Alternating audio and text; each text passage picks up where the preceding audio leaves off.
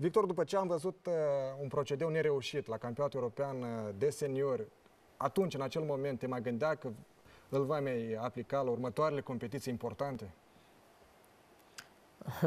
După luptă nu m-am gândit la asta. După luptă da, eram trist, nu mă gândeam la greșelile pe care le-am făcut, care am făcut, da?